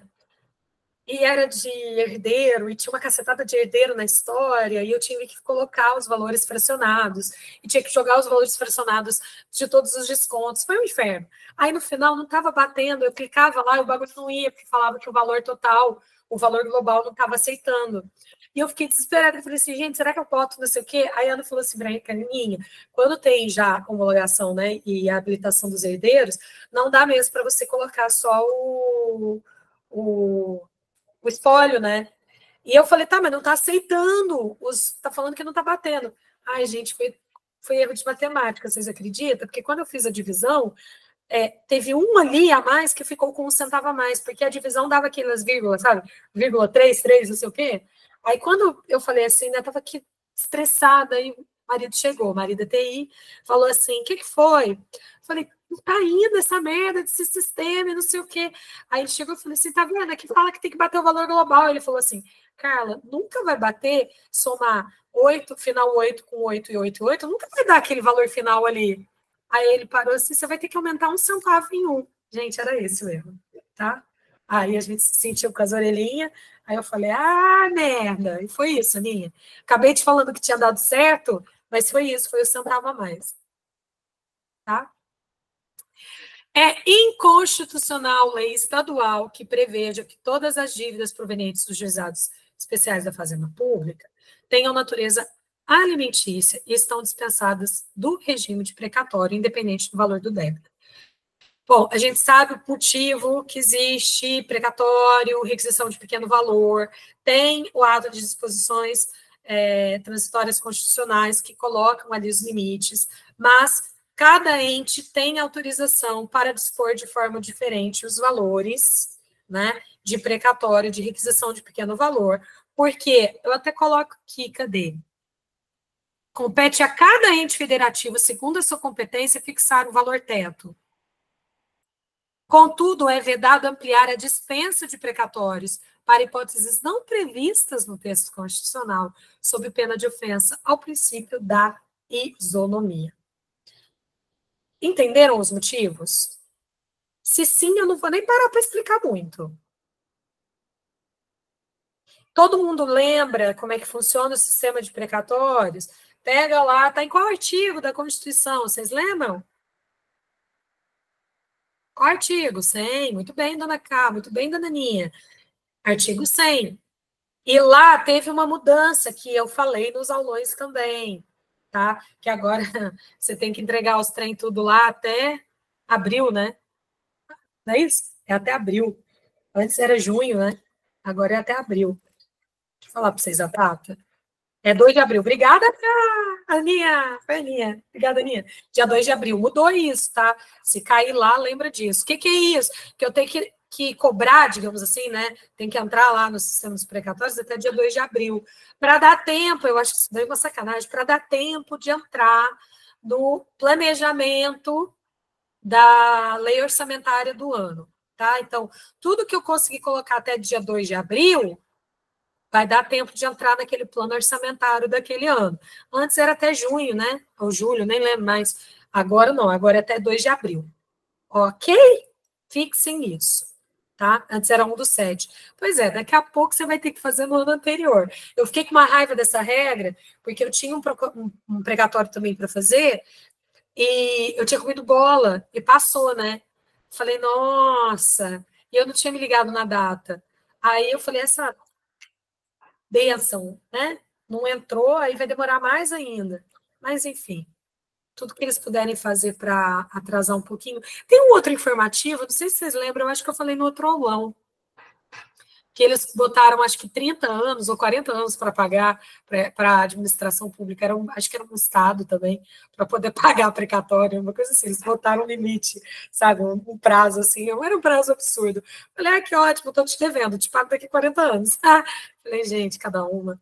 Tema 500, esse daqui tem chance grande de cair, então prestem atenção tá, dos medicamentos não caiu no primeiro Enem, foi um dos temas que eu deixei de fora e que eu fiquei com dó porque eu achava que podia cair. Não caiu naquele, pode cair nesse. Medicamento não registrado pela Anvisa, fornecimento pelo Estado. Quem estuda para a magistratura federal, tá já treinado para isso aqui. O Estado ele não pode ser obrigado a fornecer medicamentos experimentais. A ausência do registro da Anvisa, ela impede, como regra, não é uma regra absoluta, é uma regra geral apenas, o fornecimento do medicamento. E é possível, excepcionalmente, a concessão judicial do medicamento que não tem registro ainda na Anvisa, em caso de mora irrazoável em apreciar esse pedido, tá? E tem que ter acumulação de três requisitos. Eu trouxe os requisitos para vocês, que está no tema.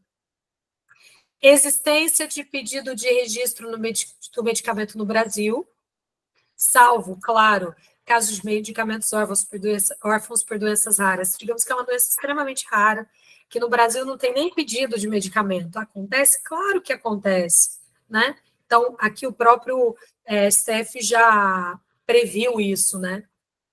A existência de registro do medicamento em renomadas agências irregulares no exterior, ah, não tem aqui ainda, mas tem lá fora. A inexistência de substituto terapêutico com registro no Brasil.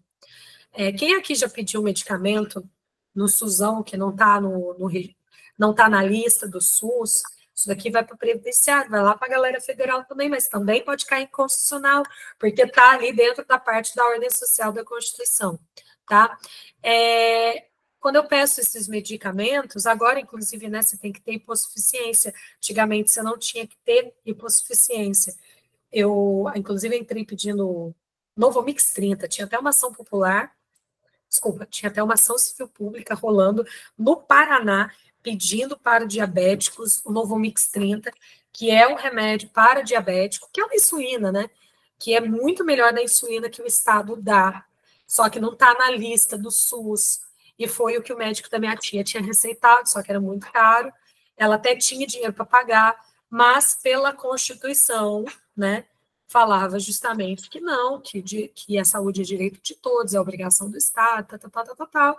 Então, a gente foi lá, entrou e ela ganhou no Vomix 30, e tem uma ação, tinha na época uma ação civil pública lá no Paraná, é, que na época a gente ainda tinha aquele artigo da ACP que estava valendo, que não tinha sido declarado inconstitucional, porque tinha outras ACPs rolando no país inteiro, enfim, obrigando realmente o Estado e aqui Estado eu falo geral, para vocês lembrarem de cada uma, de cada um dos entes, a concederem esse tal do novo Mix 30, tá? Com relação a isso, algumas coisas mudaram, mas aqui a gente está falando de medicamento de alto custo, ok? Existe um princípio que afasta a obrigação do Estado em conceder medicamento de alto custo. Qual é esse princípio que procuradores sempre trazem para tentar afastar essa obrigação do Estado em conceder. Reserva do possível, muito bem lembrado, cá.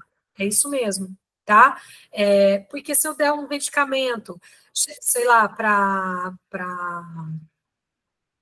Deixa eu ver. Para o Alexandre, se eu der esse medicamento para o Alexandre e falar assim, Alexandre, é, você precisa desse medicamento que vale um bilhão, vou, vai ter uma cacetada de gente que vai ficar sem remédio. Né? Então, a gente faz essa reserva do possível até onde a administração pública vai conseguir ajudar aquela pessoa de forma individualizada. Né?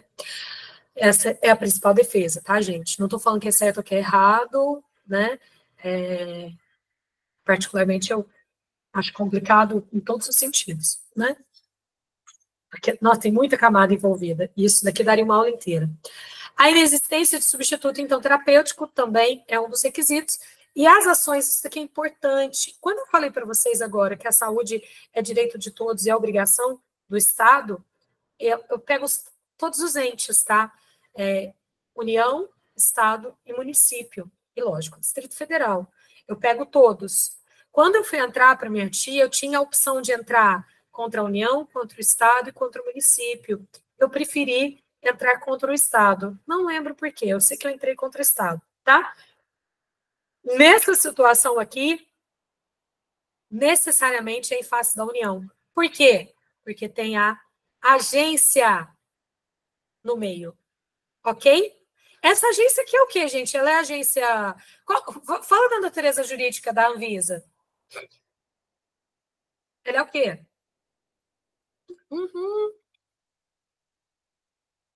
Muito bem.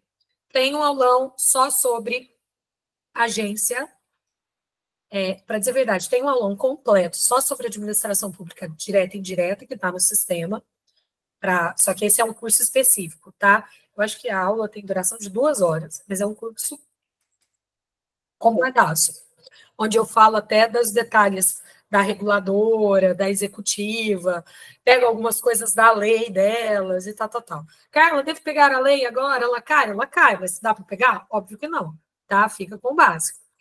E no aulão de véspera, eu acho que eu falei algumas coisas da reguladora sim, tá? Então depois dá uma olhada lá. Salvo engano, acho que está em administrativo mesmo, ok? Então, aqui a Anvisa vai puxar a competência para a União. Formativo 1113. É, é constitucional a lei estadual que garante a procedência da remoção sobre promoção por antiguidade da carreira de magistrado local, a fim de evitar preterição do magistrado mais antigo. Os juízes que se encontram em uma determinada entrância têm prioridade na escolha pelo preenchimento da vaga existente na mesma entrância por meio de remoção sobre promoção dos juízes da entrância anterior. É importante vocês fixarem isso e assistirem o aulão de teses informativas, o outro que está disponibilizado, porque lá eu trouxe mais julgados ligados à magistratura. E aquele lá não caiu e pode cair também, tá? Então, esse que seria um complemento para aquele lá. Mas pega depois aquele aulão, porque eu falo sobre isso aqui, tá? É o aulão de teses e temas daquele. Ou senão, simplesmente pega o slide e leia, ok? Não, ah, isso aqui eu acho muito legal. Não comete crime de apropriação indébita, pois ausente é alimentar de coisa alheia ao sócio administrador. Gente, quando eu falo de apropriação indébita, teve uma questão do TJ de São Paulo, quem fez essa prova, que foi acho que há dois finais de semana, né? Teve uma questão lá que falava assim: o cara ele pegou um carro para fazer um test drive. Ele foi na concessionária, entregou todos os documentos lá bonitinho, foi entregue para ele para fazer o test drive. No meio do caminho lá que ele está fazendo o test drive, ele, ah, gostei tanto desse carro, vou ficar para mim, não vou devolver. E aí, nas assertivas, perguntando qual era o tipo, né? Ah, o tipo é furto, furto de confiança, apropriação indébita, era apropriação indébita, tá? Ele estava com a posse que veio de forma pacífica para a mão dele, ele não tinha intenção de pegar aquilo para ele, e ao longo ele resolveu ficar para ele.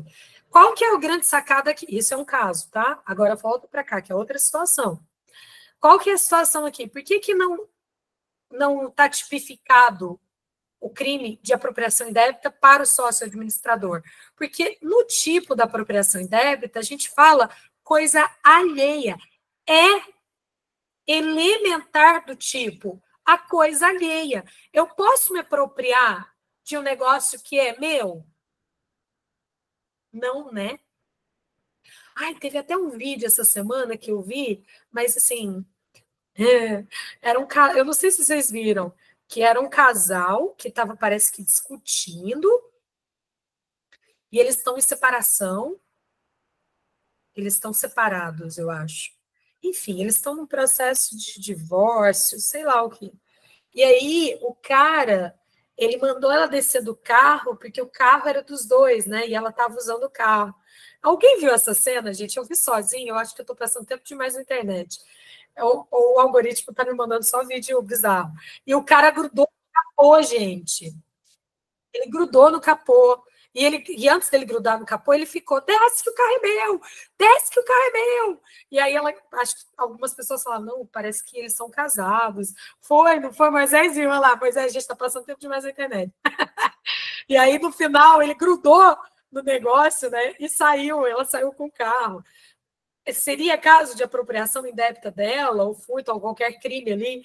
Não, né, gente, porque o veículo é dos dois, lógico. Ah, mas e se a separação fosse é, é, do regime total de bens? Cara, aqui seria uma questão super elaborada, a gente teria que colocar algumas situações aqui para a gente discutir, né? Não vou trazer isso agora, porque aí seria super penal na cabeça. Bom, seguindo. Tese do recurso extraordinário 842844, que fala da proteção constitucional à maternidade e à infância gestante contratada pela administração pública por prazo determinado ou ocupante do cargo em emissão. Ela também vai ter acesso à licença maternidade. Isso foi uma mudança é, recente, porque quando a gente fala de licença maternidade, né, é, você tem que cumprir os requisitos da lei, né, e a questão da estabilidade, enfim. Quando a gente fala da administração pública, em contratos por prazo determinado ou cargo em comissão, a gente sabe a precariedade desses cargos. Vocês lembram qual a diferença do cargo em comissão para a função de confiança? Lembram, né? Se não lembra, vai assistir o aulão de revisão de administrativo, que eu pego a Lei 8.112 e eu faço essa diferenciação, tá? Bom, para essa questão da licença maternidade, não vai fazer diferença, porque ela vai ter direito, ok? Em razão do quê? Proteção maternidade e infância. Chegamos nele. Nossa, esse daqui é grande, esse daqui é chance imensa de cair, tá? Hum, eu não falei no aulão passado. No aulão passado, eu preferi falar das queimadas. Nesse, eu preferi falar desse aqui, porque no outro já está o das queimadas, não vou ficar repetindo. Eu tomei o cuidado, gente, de trazer para vocês informativos e teses e temas que eu não trabalhei no outro aulão, tá? Se eu conseguir 100%, eu acho que sim, porque eu tentei fazer o backpack, mas eu falei bastante coisa lá também. Mas se porventura caiu, caiu alguma coisa ali, vocês podem desconsiderar, me avisa depois, enfim. Mas fica válido para reforçar cada vez mais. Há um estado de coisa inconstitucional no sistema carcerário brasileiro. Gente, esse daqui foi uma primeira situação no Brasil de uma coisinha que está virando código. Alguém sabe do que, que eu estou falando? Está virando código. Quem não segue o Vitorelli, é Vitorelli, né? Vitorelli Dona Karina, você mora perto de mim, eu vou aí. Alguém segue Vitorelli, gente? Pelo amor de Deus, vocês não seguem? Vitorelli, é Vitorelli? Vitorelli, Vitarelli, Vitorelli. Ai, gente, então, ó, vocês, vocês, eita, vi, que é Vitorelli, Vitorelli. Eu tô até no, no grupo dele de, ou é Vitarelli? E agora que eu não acho o perfil do cidadão? Ô, oh, caceta! Ele é um professor de processo civil. Ninguém sabe do que, que eu estou falando. Isso, muito obrigada, Moisés. Edilson Vitorelli. É Vitorelli, né? Deixa eu ver se eu acho ele. Vitorelli. Achei. Ô, gente. Nossa, ele tem pouco seguidor. Olha que interessante. Eu vou mandar para vocês o link aqui. Ai, valeu! Janine, obrigada. Valeu, ela trouxe. Não é para entrar agora, tá? Vocês seguem ele depois. Tem alguns perfis, gente, que vale muito a pena seguir. O dele é muito legal. Tem aquele outro. É, o, é Timothy? É, não é? Alguém segue o Timothy? Acho que é Timothy, não é? Que ele vive postando julgado é ele mesmo, ó, Moisés está tá, tá antenado. O Timothy, gente, depois vocês pesquisem ele aí. Ele solta julgados do STF todo dia, quase. É sensacional. Se quer ficar atualizado, entra, entendeu? Faz isso. Eu, eu tenho dele, que eu dia. Eu tenho o Léo Dias, que eu entro todo dia. Cadê? Entra no dele, gente. Desses dois aí são perfis sensacionais que vale muito a pena seguir, tá? Isso independentemente do cargo que você está correndo atrás, tá? Bom, eu estou querendo que vocês lembrem do, do sentença estrutural, gente, de processo estrutural. Todo mundo aqui já ouviu falar em processo estrutural? Sim ou não? Vai virar código, tá? Vai virar código. Inclusive, o Edson Vitorelli. Sabia não, Má? Pois é. Eu estou falando para o Francisco que eu estou babando para fazer uma aula contigo. Aí ele fica, faz uma aula com ela, faz uma aula com ela. Aí eu, eu falei para ele, eu vou fazer, eu vou fazer. Vou te catar qualquer dia desse para fazer uma aula. é que eu fico com dó, porque o Francisco fica babando, né? Que a Maria, gente, é, é, ela é nossa bebê também, né? E assim, ela está com a gente desde o comecinho, né, Mar? E, e, é muito gostoso quando a gente pega vocês assim, bebê mesmo, e vai formando essa base. E falar nisso, você deu um feedback tão legal que depois eu ia até te pedir um depoimento disso, para mostrar para o pessoal como é importante essa base, tá, gente?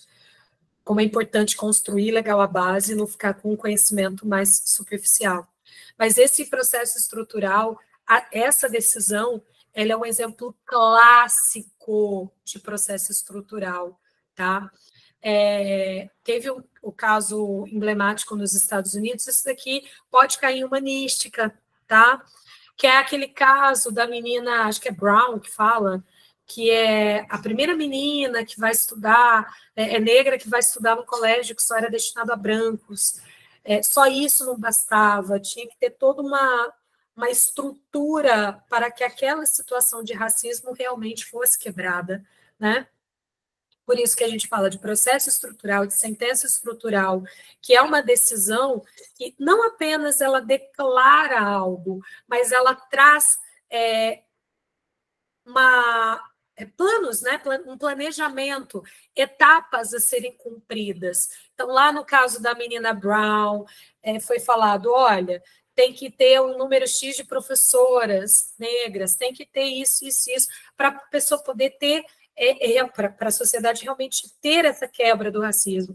No caso do sistema carcerário, não bastava apenas dizer é, que realmente o sistema carcerário brasileiro é uma desgraça, tem problemas. Não, tinha que trazer plano, um plano, uma estrutura para que fosse realmente alterada essa situação. E foi isso que foi feito nessa situação aqui do STF, né? Então, primeira coisa, eles declararam o estado constitucional, de coisa inconstitucional do sistema carcerário brasileiro, né?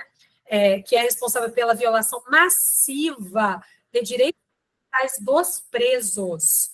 Tal estado de coisa demanda atuação cooperativa de diversas autoridades. Então, não basta só chegar e falar assim, ah, realmente, essa pessoa está num sistema que é indigno e tal, tal, tal. Não, tem que chamar todas as autoridades para a gente mexer e mudar isso, né? E comunidade para uma construção de solução satisfatória, para a gente mudar realmente esse cenário do sistema carcerário brasileiro. Quando eu falo de sistema carcerário brasileiro, não precisa ser da área penal, gostar da área penal para saber que o sistema carcerário brasileiro ele prega uma coisa, mas no final a gente está longe disso, né? São celas extremamente cheias, dignidade zero, enfim, por aí vai. Diante disso, a União, os Estados, o Distrito Federal, em conjunto com o Departamento de Monitoramento e Fiscalização do Conselho Nacional de Justiça, olha o conselhão aí, deverão elaborar planos a serem submetidos à homologação do STF, nos prazos observados em diretrizes e finalidades expostas. Então, presta atenção, ele falou o quê, o STF? Ó, Estado, município, Distrito Federal, é, desculpa, União, Estado, Distrito Federal, em conjunto com o Departamento do Monitoramento e Fiscalização do CNJ, eles vão ter que elaborar planos. E presta atenção, que plano que a gente pensa? Plano âmbito nacional e plano em âmbito aqui, ó, coloquei até uma coisa diferente. Estadual. E ele traz prazo, mas volta aqui que a gente já chega lá. CNJ vai realizar estudo e vai re, é, e regulará a criação de número de varas de execução penal proporcional ao número de varas criminais e o quantitativo de presos. Eu não sei como é aí no teu TJ, mas aqui em Santos não sei como está agora, mas na época que eu estava no criminal, tinha uma vara de execução. Uma.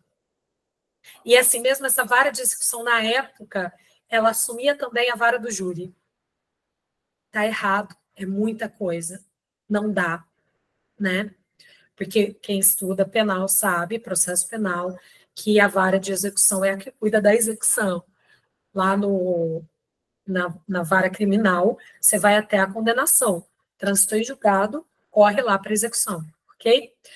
Ao reconhecer o estado de coisa inconstitucional do sistema é, brasileiro, então foi declarada procedente para reconhecer isso, determinar que juízes e tribunais realizem, ah, está aqui da audiência de custódia que eu queria falar para vocês, realizem audiência de custódia, presta atenção nos termos, é preferencialmente de forma presencial, de modo a viabilizar o comparecimento dele em até 24 horas fundamentem a não aplicação das medidas cautelares e penas alternativas à prisão. Lembre-se, quando a gente fala de constitucional, quando a gente fala de direito individual, quero saber, primeira, segunda ou terceira dimensão, quando eu falo de liberdade. Liberdade de locomoção. Em qual dimensão que ele se encaixa? Primeira, obrigada. Perfeito, é isso mesmo. É, a regra é liberdade, liberdade. Ok? Por isso que a sociedade às vezes fica quando, ah, não vai prender, ah, não tem necessidade, ah, os elementos, tem muita coisa, isso está em processo penal e pode cair aqui, tá? Inconstitucional, quando a gente fala de prisão, quando a gente fala de uso de algema, lembra disso, tá? Isso está muito ligado ao princípio também da subsidiariedade do direito penal, né? Lembra disso que a regra é a liberdade. Se nós não tivermos os requisitos ali que forcem essa necessidade da liberdade, né? Bom, uh, isso é a importância de quem quer magistratura estadual ficar muito atento a isso, tá? Porque às vezes você fala que não vai prender, porque você acha que não tem elemento, e aí a desgraça acontece, né? É, a Karina sabe, porque foi ela, inclusive, que me passou o, umas informações né, do, das, da, das, das, notícias que saíram, e daquele caso, daquele procurador procurador não, ele era secretário, né, daqui de Guarujá. Não sei se vocês viram esse caso, porque não teve tanta comoção nacional assim, que ele matou a mãe, matou o cachorro, se matou, e que ele tinha estuprado o sobrinho de que tinha autismo, é, que tinha 17 anos, e ele estuprou, e aí ele mesmo juntou as provas, entregou para o irmão, depois se matou. Só que isso caiu na mão do judiciário no dia 9 de setembro, né? E o cara se matou e matou a mãe, matou o cachorro no dia 17 de setembro. E a decisão, quando, quando caiu na mão da juíza aqui em Santos, ela simplesmente falou que não ia que, que a competência não era dela. Ela nem analisou a situação, ela simplesmente jogou para a competência territorial no Guarujá. E quando chegou no Guarujá, o promotor falou: oh, não é caso, porque tem residência fixa, tem isso, mas o cara né, já tinha é, porte de arma, enfim, vivia um menor, uma situação bem complicada. Mas ele falou que não precisava de prisão, a juíza foi lá e deu uma baita de uma decisão falando que também não precisava, e aí no final das contas ele acabou se matando, matando a mãe, né, e poderia ter sido pior, poderia ter matado mais gente. É, Marvel, você está com o vídeo aberto, valeu.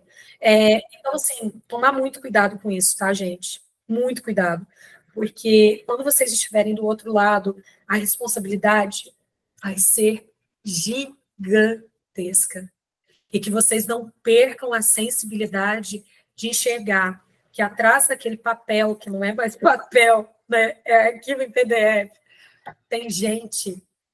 É muito importante que vocês não percam isso, tá? É, então, tem que ser feito preferencialmente presencial em até 24 horas, ok? E tem que fundamentar. Ordenar a liberação e o não contingenciamento dos recursos do FUNPEN, e determinar a elaboração do Plano Nacional dos Planos Estaduais. Aqui já começa bem a estruturação, tá? Ah, só uma coisa, para lembrar que tem que ser preferencialmente presencial, pode ser que seja virtual, não sei se vocês viram também, é, um, uma audiência de custódia, na qual o, o, o réu, ele chega ameaçando o juiz, vocês viram isso? Ele falando, no mando meu, é, eu destruo a tua casa. Doutora ameaçando o juiz, vocês viram isso? Alguém viu? Rio Grande do Norte?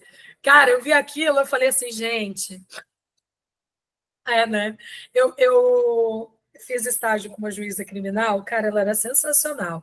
E ela era conhecida, é conhecida ainda como mão de ferro aqui em Santos. Porque, e rolava altas histórias, assim, sabe? É, para comprovar que ela era mão de ferro, assim, de, de vida pessoal mesmo. Ah, porque ela perdeu uma filha para as drogas. Não existia nada disso. Não existia nada disso. Ela realmente é uma, uma juíza excepcional, incrível. E eu achava muito engraçado que, às vezes, quando ela pegava é, alguns réus ali, ela falava assim: o que, que o senhor estava fazendo ali naquela hora e tal? E aqui Santos faz um calor do caramba, né? E às vezes eles estão de casaco, né? De frio, assim fazendo coisa errada na rua. Aí, não, eu estava de boa na rua. Ela falou, rezando é que você não estava, né? Tá vendo? Se você estivesse na igreja, aí ela dava assim as mãos, era engraçado. E, enfim, né? Mas ela não fazia nada de forma desrespeitosa, tá, gente? Isso é importante falar. Ela trazia a pessoa mesmo na razão, assim, era interessante a forma que ela conduzia as, as audiências, né? Aí, da terra da, da magistrada 21. legal, legal. Então, vamos lá. Ó, é, a elaboração do plano nacional será de seis meses, a contar da, da publicação dessa decisão. Em até três anos, gente, contada da homologação, eles vão ter esse tempo para implementação, conforme o cronograma de execução que foi indicado no plano. Então, aqui não tem nada que falar de, ai, tá invadindo a separação dos poderes. Não, que, quem foi que fez o plano? Quem foi que fez o plano? Ó, quem foi que fez o plano? União, Estado, Distrito Federal, em conjunto. Entenderam? Ah, é a tua, Jaque, verdade. Oi, filhota, tudo bem? Vocês ficam usando esses nomes assim, eu não sei o que é, não. Vocês ficam me enlouquecendo também no Insta quando vocês põem fake. Aí, às vezes, eu estou conversando. A, a Renata ainda está aí? Deixa eu ver. A Renata, Renata, Renata, você ainda está aqui? Eu estou. Tá aí? Tu é uma. que às vezes eu converso contigo lá, eu nunca gravo teu fake. É verdade. Sensacional. É a Rê. Carlinha, é a Rê. Acho uma barata. Estabelecer que o prazo para apresentação dos planos estaduais é de seis meses. Também, né? É, a contar da publicação da decisão de homologação do STF, e a gente vai ter três anos também para execução. Reparem, então, que esse sistema aí estrutural, de processo estrutural, de decisão estrutural, ele não apenas enfrenta o problema, não apenas declara o problema, ele traz uma ideia de plano para a gente estruturar, para a gente sair dessa situação. Não me perguntem como está esse plano, se já apresentar, porque eu não sei quando foi esse julgado aqui. Depois vocês falam para mim de quando que é esse julgado, que eu não peguei a data, não, tá? É, prever a elaboração, que essa elaboração ela vai ser conjuntamente, né, efetuada por esse órgão aqui, né, que está até aqui atrás, ó, que é a siglinha, né, do Departamento de Monitoramento de Fiscalização do CNJ, e pela União. Vai ter sempre esse diálogo, isso é muito importante, que a ideia da sentença estrutural, a ideia do processo estrutural, a ideia da decisão estrutural, é justamente a gente catar a estrutura e mudar, né? Explicitar a elaboração dos planos estaduais distrital se dará nas respectivas unidades da federação. Prever que, em caso de impasse e divergência, quem vai decidir o STF. Teve divergência, teve impasse, não vamos brigar, vamos mandar lá para o STF. Estabelecer todos os planos deverão ser levados à homologação do STF. Aqui é um papel importantíssimo do judiciário dentro do processo estrutural. E fiquem atentos, porque o Edson Torelli, ele fez o projeto, o anteprojeto lá do Código de Processo Estrutural no Brasil. E parece que esse projeto já foi, inclusive, entregue, pelo que eu vi um dia ele falando lá. É, então, teremos um novo código para estudar. Mas muito legal, porque, né, gente, super pé no chão, achei legal, achei interessante. Determinar que o monitoramento dos planos seja efetuado lá por aquele de, departamento de monitoramento e fiscalização do, é, ligado ao STJ, do, ligado ao CNJ, com a supervisão necessária do STF, tá? E assim, gente, ai, mas o STF é judiciário, judiciário, não tinha. Ai, é, tá, tá bem dentro da estrutura do processo estrutural, tá? Mas assim, se alguém quiser questionar a legalidade disso, vai barrer, bater com os burros na água porque o STF está no meio da, da discussão toda, tá? Estipular que os planos devem prever, entre outras medidas examinadas neste voto, observadas diretrizes gerais, sendo execuíveis aquelas que virem a ser objeto de homologação é, no STF em uma segunda etapa. Então, a primeira etapa mesmo é esse plano. Não sei se o plano foi feito, tá, gente? Isso aqui, minha curiosidade não foi tão longe. Tema 743. É possível ao município obter certidão positiva de débito com efeito de negativa quando a Câmara Municipal do mesmo ente possui débitos com a Fazenda Nacional, tendo em conta o princípio da intranscendência subjetiva das sanções financeiras. Esse princípio está no aulão de princípios e esse princípio já vi cair em mais de uma questão da FGV, então presta atenção, tá? Tema 576, o processo e julgamento do prefeito municipal por crime de responsabilidade não impede a responsabilização por atos de improbidade administrativa previstos na lei em virtude da autonomia das instâncias. Isso aqui também seja tão cansados de saber, né? Que a responsabilidade da lei de improbidade, ela não vai ser impedida pelos crimes de responsabilidade lá na esfera, por exemplo, civil, criminal, tá? Lembre-se das situações em que uma absolutória criminal vai ter reflexo aqui. São três situações, todo mundo lembra quais são essas situações? Que uma sentença absolutória no criminal vai é, emitir efeitos nas outras é, esferas, obrigatoriamente.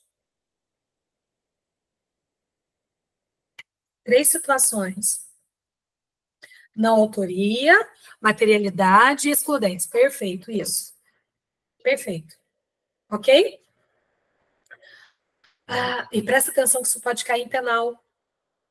Ok? E eu vi questões FGV colocando isso. Muito fofo. Tema 454, a nomeação tardia. Isso aqui achei legal. Nomeação tardia de candidatos aprovados em concurso não gera direito a promoções ou, ou progressões funcionais que alcançariam. Gente, qual que é a, a responsabilidade civil que, que a gente poderia alegar? Advogado acho sensacional, porque tem essas sacadas que fala assim, opa, o que, que a gente está falando? Nomeação tardia de um aprovado no concurso público, por erro da administração pública. Então, pô, já era para eu ter entrado nisso aqui tem dois anos, né?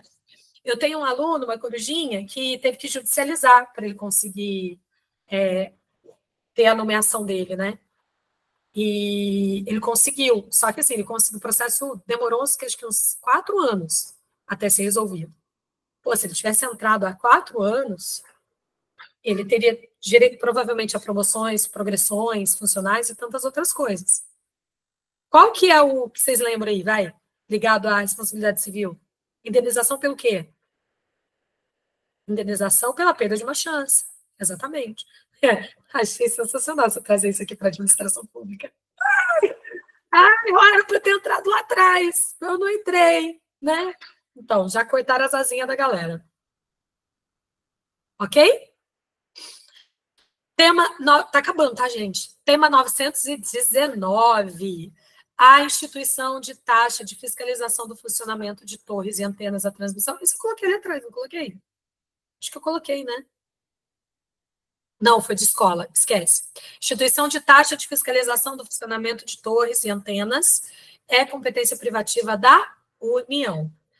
É inconstitucional lei estadual que concede em favor de candidatos naturais residentes em seu território bônus de 10% na nota obtida. Então, assim, eu vou fazer um concurso em âmbito estadual, e aí eu tenho uma lei estadual que fala, ó, oh, quem for do meu estado já entra com 10. Muito bom, né, gente? Daqui não precisa nem de informativo para vocês matarem que a questão está errada, né? Informativo 1121.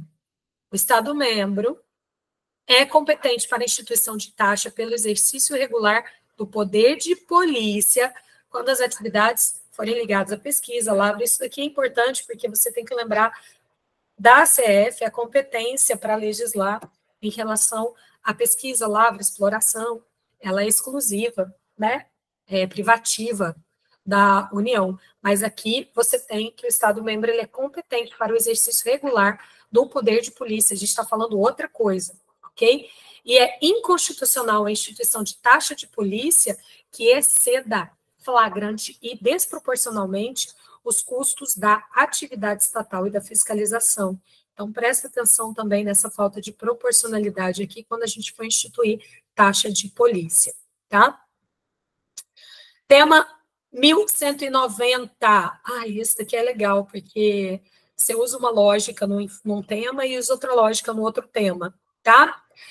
A suspensão dos direitos políticos, previstas no artigo 15, 3 da CF, que é condenação criminal transitada e julgada enquanto durarem os seus efeitos, não impede a nomeação e posse do candidato aprovado em concurso público, desde que não incompatível com a infração da penal praticada. O que que eu estou falando? Quando eu estou falando de suspensão de direito político, quando a gente tem é, uma condenação criminal, você tem essa suspensão acontecendo. Para você passar no concurso, você tem que cumprir alguns requisitos. Um deles é você ter o quê? Estar em quê? Dia com quê? Né? Com os seus direitos políticos ali, né? Com, a sua, com o seu exercício de cidadão. Então, é, se eu não, se eu estou com os meus direitos políticos suspensos, em tese, em tese, eu não poderia tomar posse no concurso, né, no, no cargo público. Mas vem aí esse tema que discutiu a situação, tá? Ele não vai impedir a posse a nomeação do candidato que foi aprovado, desde que não seja incompatível com a infração praticada. Por que, que eu falei para prestar atenção? Tema 370. A suspensão de direitos políticos, que é a que eu acabei de falar, ela aplica-se no caso de substituição da pena privativa de liberdade pela restritiva de direitos. E aí vem aqui comigo. Ó. Ai, gente, não era esse o julgado. Peraí, deixa eu ver se está mais para frente. Não, não era aqui. Cadê? Ah, não, tá certo, é isso aqui mesmo. Eu quero só que vocês prestem atenção, porque tem esse aqui que fala que a suspensão de direitos políticos aplica-se no caso da substituição da pena privativa de liberdade e restritiva de direitos. E eu vi uma questão da FGV falando isso, né? Que a suspensão dos direitos ela não se aplica à substituição das penas restritivas de direito. Então toma cuidado, porque se você for por essa lógica aqui, você acaba errando se ele cobrar esse tema aqui, tá? Só toma cuidado com isso. Honorário de sucumbência por apreciação equitativa é aquela que o juiz ele vai fixar de forma livre, tá? E aí vem a decisão que estava no informativo. A fixação de honorário por apreciação equitativa, ela não é permitida quando os valores da condenação da causa ou proveito econômico forem elevados. E aí, nesse caso, gente, obrigatoriamente vai aplicar os percentuais que está lá no Código de Processo Civil, ok? E aí vem, ó, calculados sobre, a depender da presença da fazenda, os quais subsequentemente calculados sobre o valor da condenação, proveito econômico obtido, valor atualizado da causa. Apenas se admite arbitramento dos honorários por equidade quando havendo ou não condenação. Dois pontos. O proveito econômico é obtido por valor inestimável e irrisório. O valor da causa for muito baixo. Então, nesses casos, apenas nesses casos, ó, você vai aplicar o arbitramento de honorário por equidade. Ok? Nossa, gente, 10 e meia. Eu falei que ia terminar cedo, né? Uma hora e meia. Fica quieta, Karina. Alguém ficou com alguma dúvida? Alguém está desesperado? Tá bem? Tá tranquilo? Tá, aviso, cara. Olha, é, de novo, reta final, gente. Vocês têm que organizar a ideia e enxergar. Peraí, Quais são os pontos que está faltando para mim? Que eu acho que é bacana, seria bacana eu reforçar. Tá? É isso. Antes de. Não, não vai embora, não, porque eu só vou fazer a finalização do vídeo para ficar gravado. É, eu agradeço todo mundo que acompanhou até agora. Quem está no Enan 40, quem está no Enan 70, que gente 40, Enan 30, no Enan 70, no Enan Capa. Principalmente quem está no Enan Capa desde lá de abril, né, bem antes de abril. A gente está nessa luta aí do Enan já há bastante tempo. É, o primeiro Enan, a gente ficou naquela, no susto, agora a gente já sabe bem o que a gente vai enfrentar. Então, eu só falo para vocês irem com a cara e com a coragem, com calma, com tranquilidade. É, infelizmente, a galera da estadual está perdendo né, algumas provas que estão ignorando a existência do Enan, isso é muito triste, mas assim, eles vão pagar um alto preço porque de verdade a gente vai ter bastante concurso ainda e do jeito que eles pesam a mão, assim, eu não sei não, eu acho que a gente vai ter um, um retorno que não vai ser muito legal para as provas, sabe? E é só aguardar e fazer o teu melhor, dar o teu melhor, e com a cara e com a coragem na prova. Essa semana vocês vão lutar com muitas coisas. Cabeça não vai funcionar, vocês vão querer jogar a toalha antes do tempo, vocês vão achar que vocês não fizeram nada, vocês vão achar que não estudaram nada, vocês vão achar que vocês não sabem nada. Afasta, sabe? Afasta esse pensamento tenta dar um jeito e enxergue os, os gatilhos que vão trazer isso para você e segue teu caminho. Vira ali uma chave na tua cabeça e se enfia numa bolha, que agora não é hora de você duvidar, agora é hora de você acreditar cada vez mais. Porque quando você chega com a tua autoestima lá em cima para fazer uma prova, dificilmente o teu cérebro te prega é, pegadinha, sabe? Então, façam uma, uma boa prova, passando a prova, conversem comigo, me passem os feedbacks de vocês, o que, que vocês acharam da prova, é, e vamos pensar nos próximos passos, tá? Independentemente se tiver dado certo ou não, o EMAN, ele é só mais uma parada no caminho, né? Que a gente tem que fazer. Então, vamos pensar nos próximos passos e ir para cima. Se é cargo público que vocês querem, então tem que pegar para valer. Combinado? Cá, pode parar a gravação.